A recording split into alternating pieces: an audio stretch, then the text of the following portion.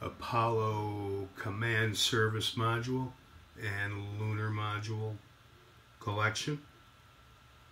Uh, I was born in 1967, grew up during the tail end of the Apollo era.